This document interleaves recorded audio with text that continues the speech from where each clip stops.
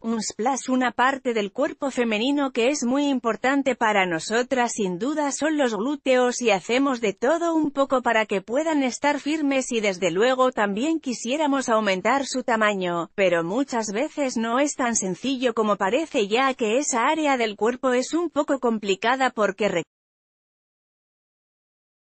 la avena, es uno de los cereales consentidos por los nutricionistas y es excelente para las personas que desean tener un aumento de masa muscular. Incluso el consumo de avena hace que tengas un mejor rendimiento de tu día porque aporta energía. Por su parte, las almendras contienen grasas buenas y por lo tanto son